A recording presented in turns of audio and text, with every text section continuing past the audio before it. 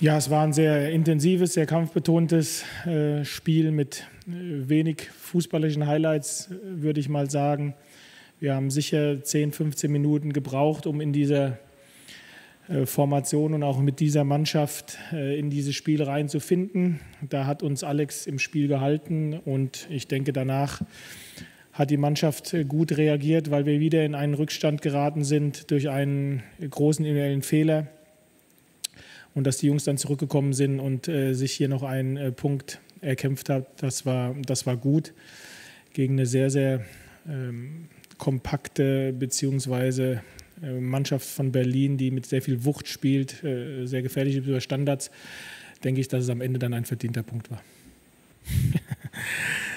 Ähm, die taktische Variante mit Sané ist aus der Not geboren, äh, sowohl die Variante mit Basti Ochipka als Innenverteidiger aus der Not geboren wurde und mit Rabbi Motondo auf der 10 aus der Not geboren wurde. Und es wurde auch aus der Not geboren, dass wir heute mit 16 Feldspielern hier angereist sind und davon zwei U19-Spieler äh, dabei waren. Das alles ist heute aus der Not geboren. Und das zeigt, wie viel Not wir im Moment haben. Und dennoch möchte ich nochmal betonen, dass wir weiterhin nach Lösungen suchen. Und das waren unsere Lösungen für dieses Spiel heute. Und dementsprechend bin ich mit dem, mit dem Fight, den die Jungs angeboten haben, absolut einverstanden.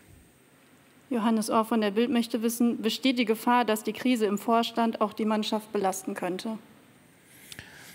Ich glaube, das habe ich hinlänglich gesagt. Wir werden nicht äh, nach Entschuldigungen suchen, sondern äh, nach Lösungen suchen. Dass wir in diesem Verein im Moment äh, vielfältigere Schwierigkeiten haben, das ist auch hinlänglich bekannt. Äh, nichtsdestotrotz wird die Mannschaft und hat sich die Mannschaft versucht und das hat sie auch geschafft, äh, auf dieses Spiel einzulassen und das wird sie auch in Zukunft schaffen.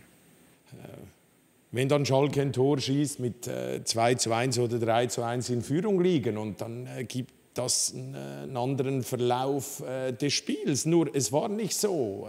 Darum war es bis zum Schluss auch wirklich, wie soll ich sagen, so gefühlt ein bisschen hektisch.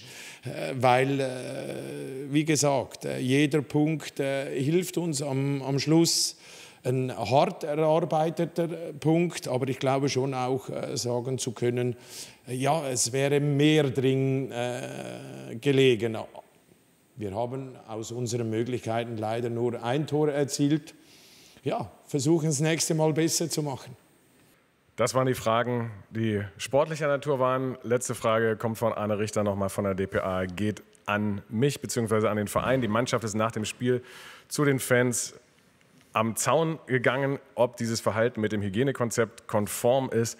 Äh, sie sind nicht den Fans nahegekommen. Das Verhalten äh, entsprach also dem Hygienekonzept der Distanzhaltung. Äh, das ursprüngliche, die ursprüngliche Befürchtung, dass es vor Stadien zu nicht zulässigen Menschenaufläufen kommen könnte, ist auch hier äh, alles korrekt gewesen. Die Anzahl der, Menschen widersprach nicht den zugelassenen äh, Anzahlen von Menschen, die irgendwo sein dürfen. Die Polizei war vor Ort, hat kontrolliert, alle haben die Abstandsregeln eingehalten.